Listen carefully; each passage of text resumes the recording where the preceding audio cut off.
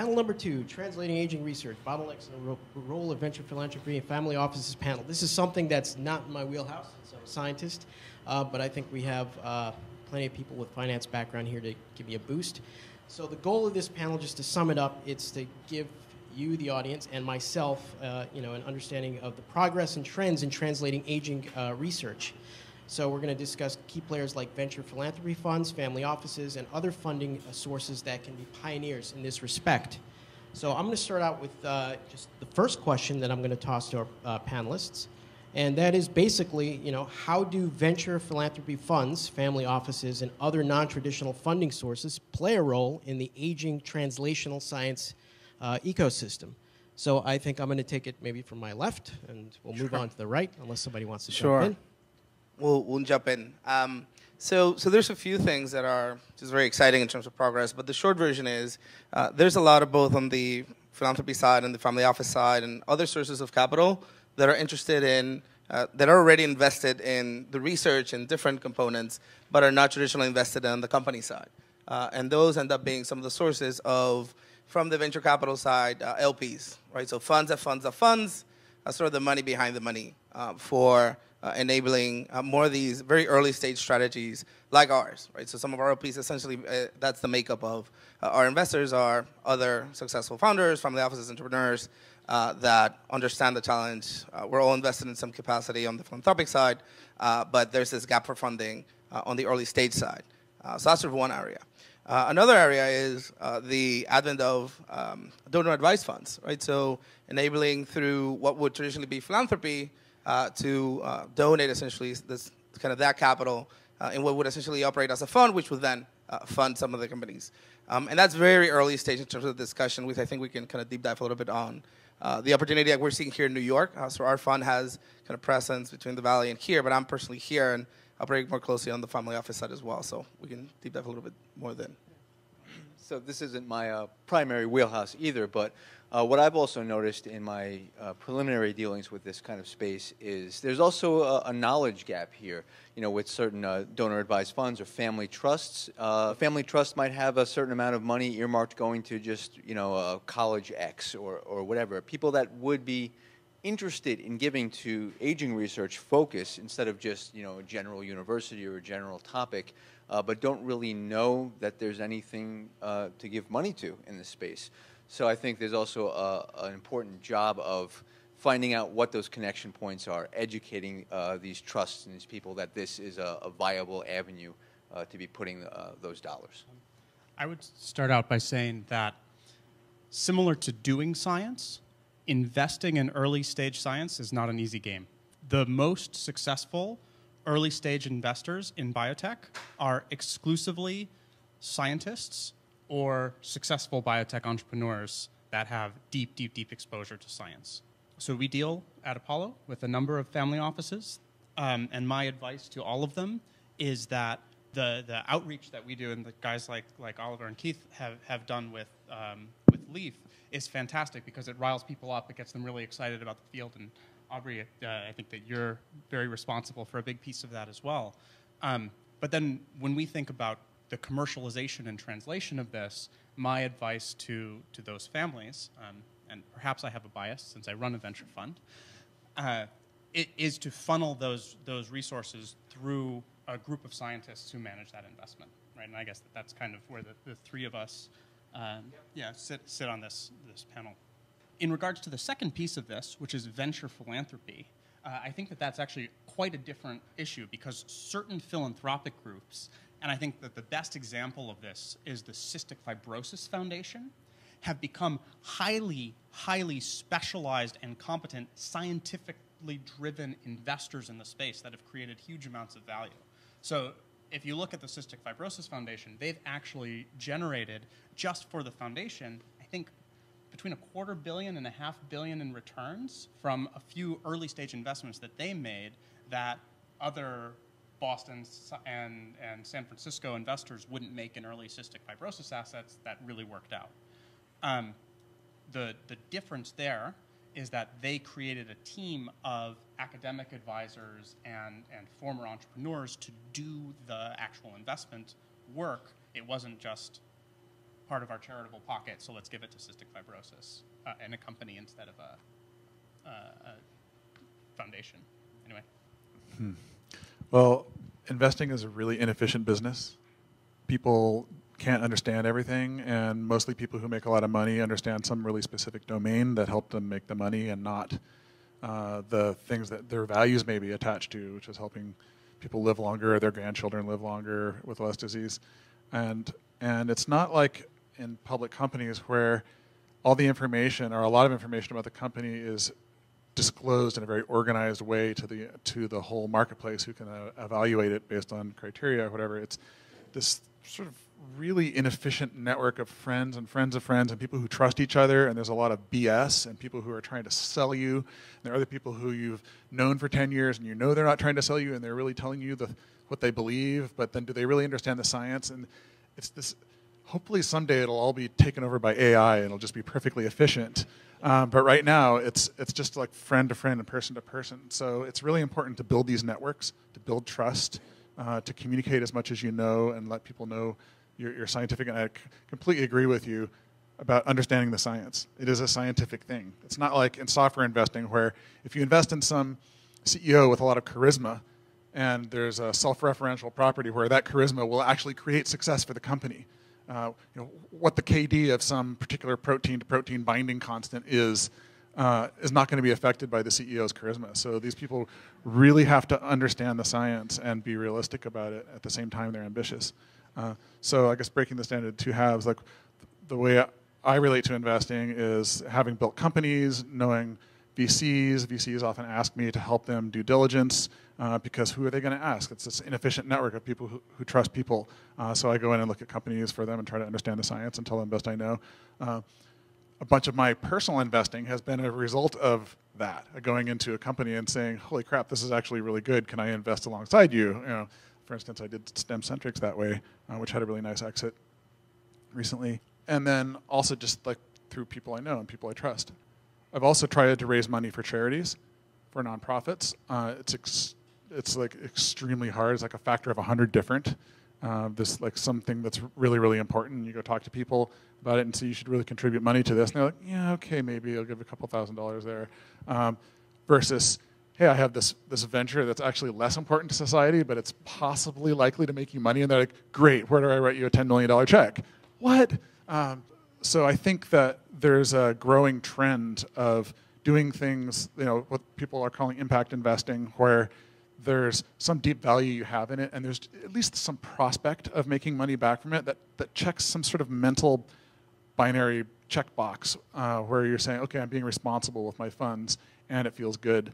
Um, right now, I'm uh, the board chair for an organization I'm excited about called the Longevity Research Institute that uh, touches one of the areas that I continue to feel needs help and is broken, which is and the animal side. And um, they're getting a bunch of you know seven-figure investment in in uh, on the nonprofit side for going through and repeating all the animal experiments in, in longevity as something where you don't really imagine for-profit investors kind of doing that. Um, and yet it's probably going to reveal some molecules that should be followed up in a for-profit way. So there's a hybrid model happening there. I'd, um, I'd completely agree. So the, the, certainly what we see in London is, is a bit of a disaster around high net worths that are, like you say, talking to their network and talking to their friends and not necessarily putting their money into quite the right ventures. Whereas um, if you can go through some kind of network that really does deeply understand the science, that's undoubtedly the way to do it. But I'll go a step further to say that uh, I don't know the Silicon Valley scene, but certainly in Europe, there's a real dearth of really high quality startups, especially in this space.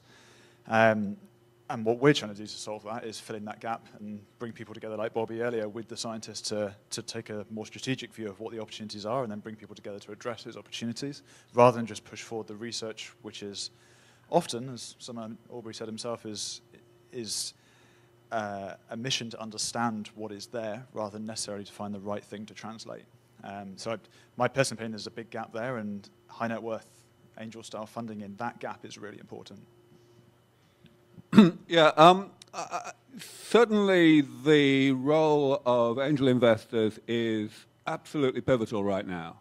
And well, I, I specifically mean, you know, investors who are able to act unilaterally um, and also who are comfortable with really, you know, high risk, high reward activities. Uh, but absolutely, it's true, uh, what everyone has been saying, that if you're not a specialist in this area, then you damn well better be advised by somebody who is in order to decide where your money should go. Um, essentially, um, either employ or delegate to somebody who, uh, or people who, who know, what, know what they're talking about. And so, um, in my world right now, I see that in a variety of ways.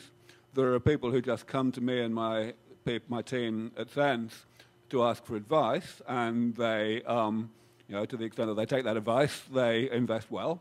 Um, uh, but there are also people who prefer to just delegate in a more, um, a more concrete way by essentially investing in another fund. So, for example, the very first um, venture fund that was set up specifically to focus on, um, the, on this field, which was, of course, Laura Deming's longevity fund, um, that has recently received a $3 million donation from a group that we also talked to um, and who've given us money philanthropically. But in order to make their decisions, rather than just you know, trying to build up in-house expertise or just ask us every time they want to make a decision, they decided to just let Laura do it. And uh, you know, I'm, I'm totally fine with that. I think the, um, the, the, the, delegating in that way is, is the right way to go. I will, however, also say something about the intersection and the interaction between the investing side and the philanthropic side, which has become very apparent over the past couple of years. When we talk to people who are investors first and owners second, as the, the thought that Joe was talking about, we try to persuade them, obviously, to be donors as well as, as investors. And the, our main argument is that's how you're going to get access. That's how you're going to be able to come and you know, visit our labs and talk to us whenever you like. And you're going to have the information that will let you be the lead initial investor in the next startup that we spin out or whatever. And I'm pleased to say that that argument is actually reasonably successful. You know, a, a reasonably high proportion of the people who come to us for investment advice will also turn into significant donors as a result of essentially buying that argument. Um, so yes, the intersection between these two things is extremely important. As I said in my own remarks this morning, um, you know, the non-profit side of things is going to remain the absolutely indispensable engine room of the industry for some time to come.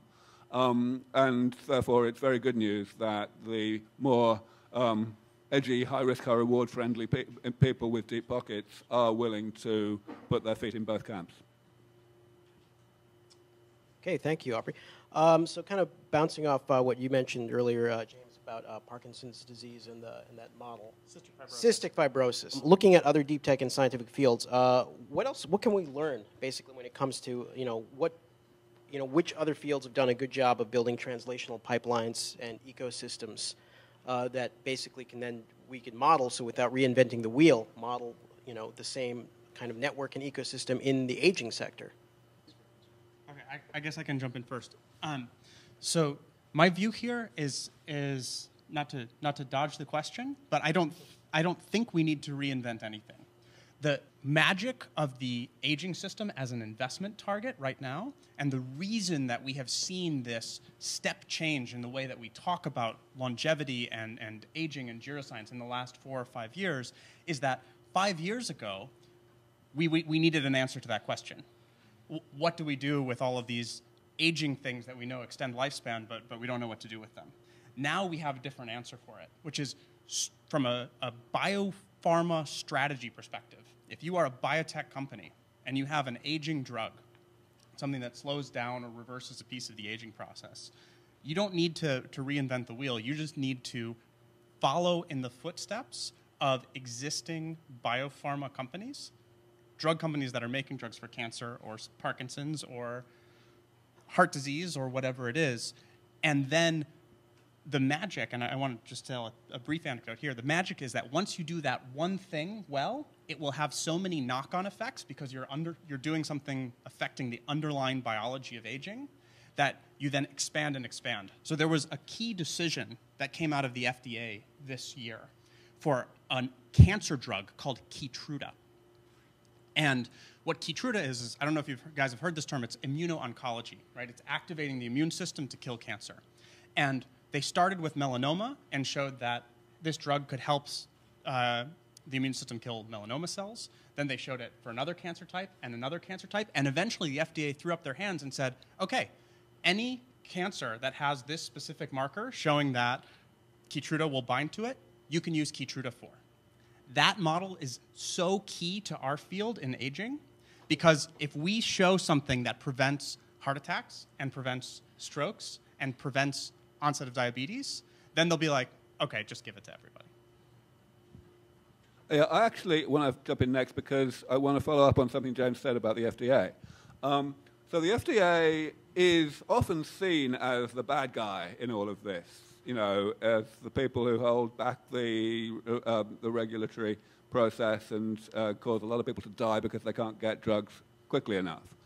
But I think that's unfair. I think that the FDA, first, well, they're in a very difficult position, of course, in general. You know, they have to, um, they're an arm of the government. But the fact is, they are really reflecting public opinion. When we look at the impact of, you know, one person dying in a clinical trial or dying from an approved drug, um, it can be absolutely enormous. And, um, you know, I mean, gene therapy is a great example. The um, famous story of Jesse Gelsinger, who um, uh, whose death basically held back um, clinical trials in gene therapy worldwide for well over a year. It was ridiculous. Um, whereas, you know, lots of people dying because they can't get hold of a drug doesn't make the headlines. But the thing about the FDA that uh, is another advance that I actually thought uh, was the one that James, was going to mention, but was, was, not this year, it was last year, um, is that they now, for practical purposes, regard aging as a, as a clinical condition that you can have a drug for. This is the result of an enormously laborious and long drawn out discussion between the FDA and a handful of senior gerontologists, where basically they ironed out a kind of way of describing uh, aging without using the word aging. Essentially, uh, uh, describing an endpoint that was very multifactorial and incorporated the uh, integration and interaction between components of aging in, a, in, the, in, the, in the required way. And the result is that a clinical trial is now approved, though it's not happening yet because it hasn't been fully funded, for testing metformin for aging. Um, now, metformin is you know, probably not going to do much good anyway, and even if it does, it's not going to make anyone any money because it's been off patent since before your mother was born.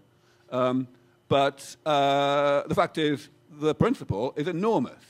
It means that whenever anyone wants to come along and actually have a clinical trial against aging for something that they could make money out of, then the template exists now for how you define the endpoint of the clinical trial. And, you know, five years ago, no one would ever have believed that that would hap have happened.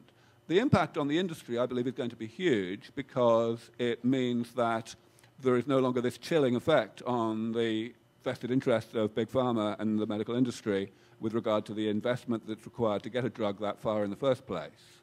And so this is another example, I feel, where five years ago we definitely had some reinventing to do, but now we just need to do what's already in place.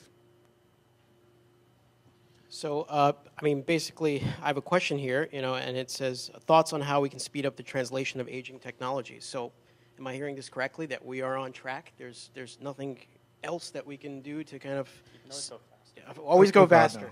Is there one thing we can do to go much faster? I mean, the, the, the poster children for for taking age-related diseases, of which I'd consider heart disease and cancer, to be, um, and and getting a, a whole pipeline of ther- therapeutics moving out for them is is biomarkers. And you know, heart disease has benefited from from high blood pressure and cholesterol and things like this that have somehow magically been approved as proxies for the actual disease and they're quick to measure and they're rapid to change in the physiology of people. So you give them a drug, their cholesterol goes down, and that's the victory. Uh, and you can immediately start marketing that drug. Um, and in cancer, uh, uh, you know, it's it's a much more short-term approach. Also, will this tumor shrink in size? Uh, it's not what I would consider to be the actual aging angle of cancer. And cancer is probably the hugest age-related disease that we have what would actually be attacking cancer from an aging perspective would be preventing it from happening in the first place. And virtually no one is doing this, unfortunately. But looking at cancer as a poster child for how do you make a, a, a, like an industry happen, um, you have all these biomarkers, tumor size, uh, five-year survival rate, things that you can actually measure in trials. So to be tremendously successful at the largest killer of all, which is aging, uh, what we need to accelerate that are having more and more and better biomarkers, things that would be accepted by, you know, it's not just the FDA, it's really the bogeyman is payers. Who will reimburse for what? Because uh, people, you know, ordinary people only have so much money, and if you go to Blue Shield and say, I want to take this drug and I want you to pay for it and it's going to slow down my aging, they will just laugh at you. And so that will not happen. Um, but uh, what we need are, are biomarkers such that there's something you can measure in blood that is predictive of whether you're going to die or not, or whether you're going to become frail, or whether you're going to develop cancer or heart disease or NASH and so on. And you know, we're starting to get the glimmers of the first few ones of these, but I think that is one of the, the largest challenges and I think should be projects of this community and this industry. Just to, to jump in, just really brief, briefly off of that, because you mentioned cholesterol, um, which I think is, is one of the key analogs that we have to think about when we're, when we're thinking about making a drug that is preventing disease. Um, the, the road to establishing cholesterol as a biomarker that, such that it could replace clinic, uh, endpoints like mortality or heart attack endpoints in clinical trials was a 30 plus year process, right? That started in the 1960s and culminated at the end of the 1990s when those trials were going on, and Lipitor, the, the first statin, was, was ultimately approved in, in the early 2000s. The, the seminal challenge from a regulatory perspective for people in this industry and also the FDA is to see how we can use the enormous amount of data that we will have on potential biomarkers for aging to shorten that window that was 30 years, 20 years ago, uh, I guess 20 to 50 years ago, but, but should be able to be accomplished in a much shorter time frame now. That is, that is to me the key bottleneck in getting this approved so we all take a pill to live longer. Yeah. Uh, I actually kind of want to piggyback on that same point um, in that you know, I think there are lessons to learn from other fields and other industries. So uh, the one in my mind, because that's my background, is uh, computer science, computer programming, and sort of a, a, systems analysis to, from a high level, analyze, you know, what are the lacks in the field, what are the key bottlenecks, and biomarkers is going to be one that I was going to bring up, uh, and also a problem of uh, reproducibility that's in some sense trying to be attacked by the uh, the ITP program. You know, parallel. I can't say this word parallelizing um, trials multiple times uh, in different uh, labs to verify that the results are, are, accurate. You know, to analyze what are the things that slow down or can uh, derail progress, and then restructure your, your systems approach to incorporate that. So I think, for example, biomarkers, um, you know, if, if you don't have good metrics to test your results in a timely uh, manner, you're going to be kind of floundering around for 20 years. So you really need to have those target points so you can say, this works, this doesn't, uh, how do we proceed in a smart way?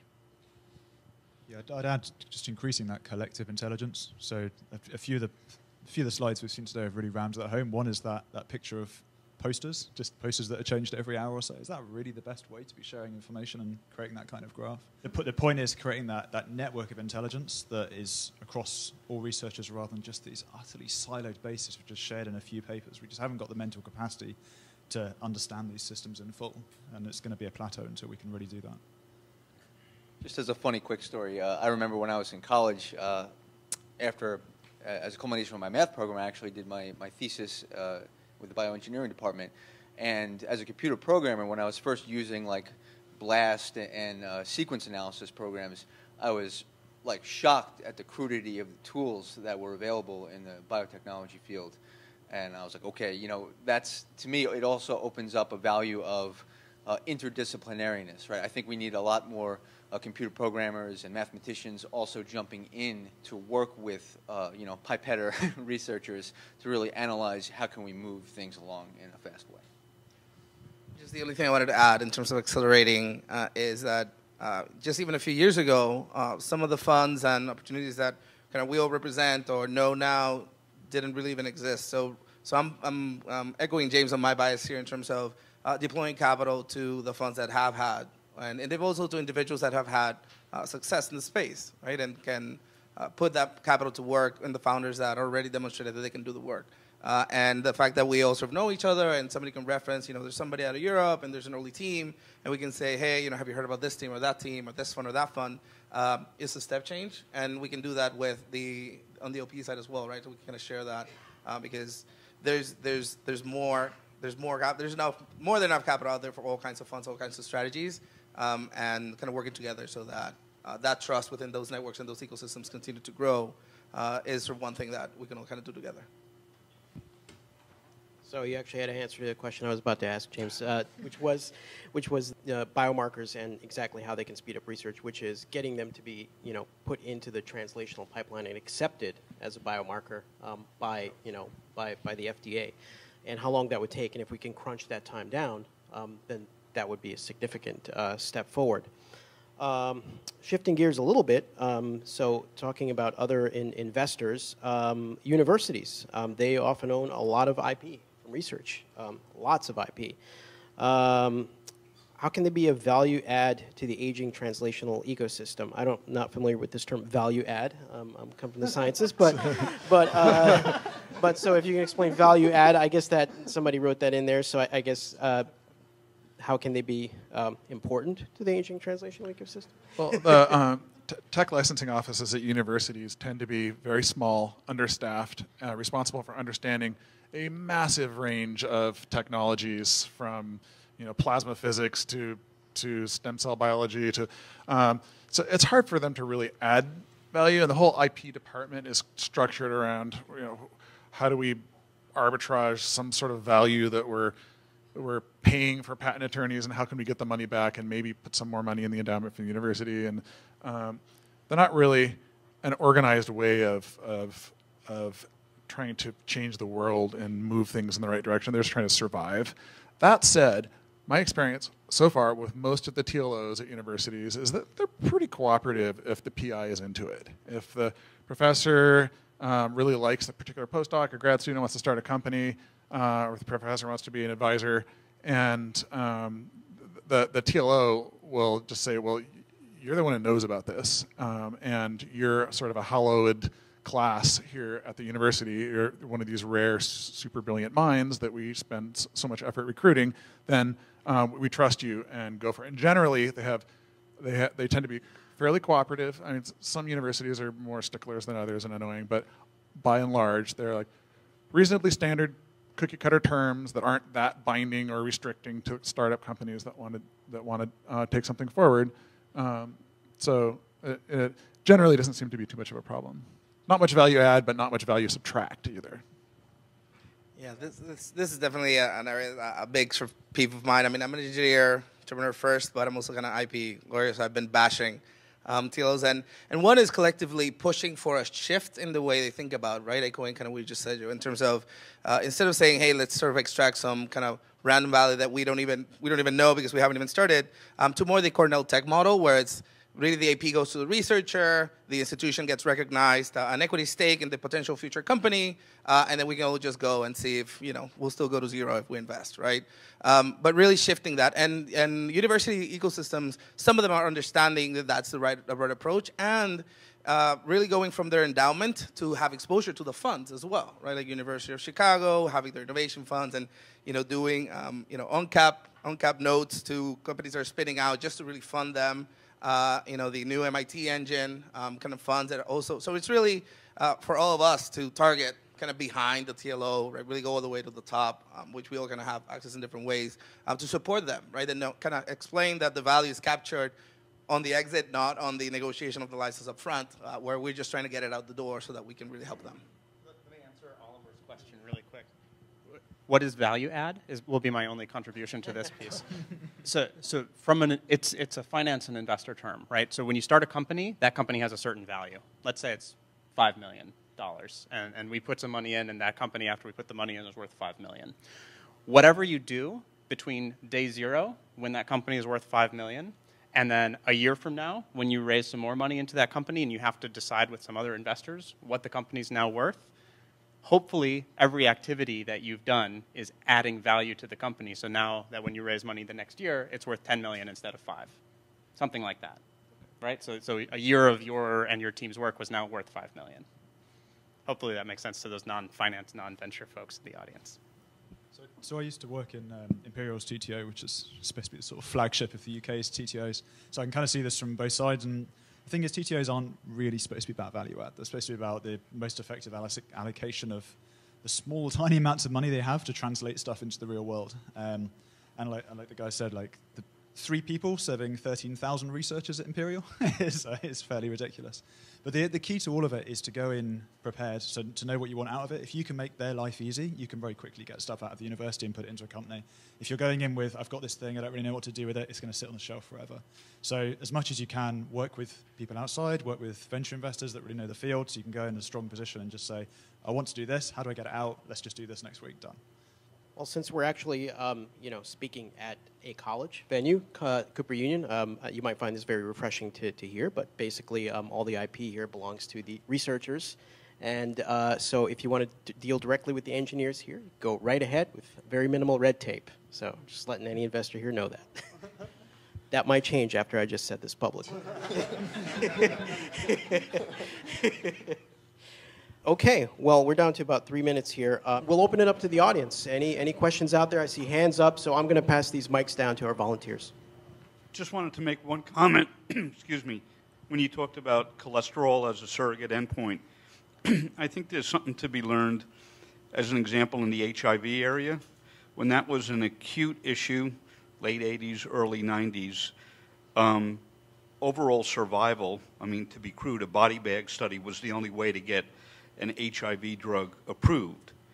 But through the leadership of the FDA, NIH, and pharma companies coming together, they pooled their information and their data to show that viral load is an appropriate surrogate endpoint for overall survival, which allowed the FDA then to have viral load as a registration endpoint.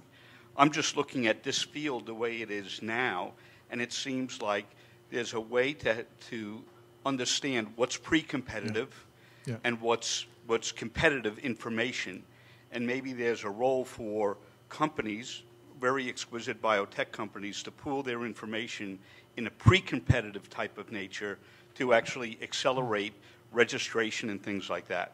Just a comment. I, know, I noticed you referred to it as as an HIV drug.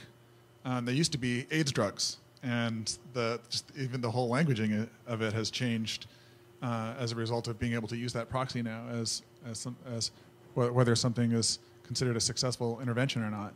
Um, you know, HIV antibody titer, for instance, being a proxy. It may be that soon uh, we, will think of drugs not as uh, an anti-aging drug, but as a, like a like an, a senescent cell drug, um, and that'll just start to become standard standard parlance when we're referring to that particular area. So I like the idea of, of cooperating and pooling information. Sometimes pharma companies do that. Uh, it's really, really hard to get people to do that. So it takes a lot of work, and you have to communicate to them why there is some like mutually beneficial outcome that'll happen, and nothing negative will happen to them in the whole process. So it's hats off to you if you can pull off that political magic trick. Um, I just wanted to mention one other alternative to using biomarkers that is kind of like a, a, a starting to be tapped secret superpower of the aging biology field, which is the use of proxy conditions. So, for instance, you know, Ichor is going after this uh, uh, condition through uh, through um, SENS uh, for, say, uh, age-related macular degeneration, which is emblematic of a bunch of other aging pathway processes happening, but isn't easy to identify and easy to to declare victory on if you have if you have a therapy for it. And I think that not only assembling uh, like a, a, an arsenal of biomarkers, but also assembling a really clearly defined mapping of a bunch of proxy diseases for various of the aging pathways and, and uh, you know, sort of hallmarks of aging, if you will, um, in, in terms of proxy diseases will also be helpful. Um, are you guys looking for, forward to, to, to, the day, like say, celebrities from Hollywood decides to maybe invest a couple million dollars in anti-aging research and then it makes the news, and then it opens the floodgates for more money to come in, and it you know the general public gets more informed of it, and then you know the ramifications of that. You have any uh, thoughts on that? Yeah, I'm quite looking forward to that day, yes. No, I mean, seriously, um, you know, we've been trying to make that happen for quite a long time. Our main outreach coordinator at SENS is Maria Entraigues. She's, she's lived in Hollywood for 20 odd years. She uh, was a very successful singer songwriter, and so she has a lot of connections and she knows how the celebra- celebrities think. But even with that inside knowledge, it's been hell on wheels making anything happen. We've had a few isolated examples of reasonably well known celebrities who've got involved at a low level, like Edward James Olmos, for example, who um, was the star of Battlestar Galactica, um, has given us a lot of his time for free, you know, and done uh, voiceovers and videos for us and such like. But there's been very little of that. Probably the only really significant one that's happened so far is Steve Aoki did a benefit for us like a year or two ago. Uh, but again, you know, we need far more of this. Uh, yeah, I want to jump in here too. Uh, I, I too am looking forward to that day, and that's actually one of uh, our long-term goals at Leaf. That's part of the mission of us doing these big videos with YouTube uh, collaborators that are hitting millions of people. Is to sort of, in a sense, fish uh, to get people interested, and maybe we'll get an email one day, and we're also actively, you know, working on uh, connections of connections, et cetera. And I think a really instructive model to look at for this is the uh, progression of cancer advocacy, where it's you know started in the 40s and 50s, where it was basically just a couple of advocates doing in a sense, slick PR maneuvers like the Jimmy Fund. Uh, you know, oh, people aren't going to get behind curing cancer, this vague, amorphous thing. So let's pick this kid. Uh, his real name was Gustav, I think. Um, and they built this, you know, whole initiative around him. Let's save this boy, Jimmy. And they got all this public attention, which eventually radiated out into getting celebrity endorsements and all this kind of stuff. And then once you hit, you know, stand up to cancer level, when you have, you know, baseball games being devoted to it. You know, now you've changed the game, and that's one of our like long-term goals, personally. So. I guess I would only have one thing to add here, which is I think that it's going to be two very different perspectives. Um, if you're talking about advocacy and philanthropy and support for the research, um, as Aubrey and Keith kind of just got into, versus the investment from the the commercial side. So right now we're investing a little over 50 billion a year in cancer therapeutics if you count the pharma companies investment in cancer therapeutics. That's a lot of money. And and those players the pharma companies and then the the kind of engine of money that Ramphis mentioned which is the family offices that are kind of the funds behind the funds um, when you when these guys are looking for places to put their money and and there's a time magazine cover of will google cure aging? These guys they pay attention right longevity in the family office world is in the same category as cryptocurrency right now. It, it's taking the world of these money behind the money investors by storm. The main question for them is what the hell do we do about it?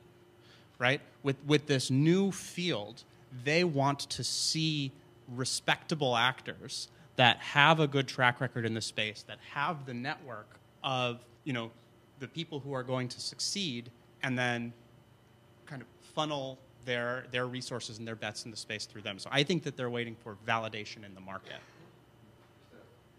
Quick follow up, you, you touched on it, but of course, it's worth noting that obviously these two things are very interrelated. You know, uh, you could see yourself in a meeting with an investor who is a fan of Steve Aoki and says, Oh, I, I heard about that. I've been interested in that. You know, Okay, so uh, let's give a round of applause for our panelists. Thank you.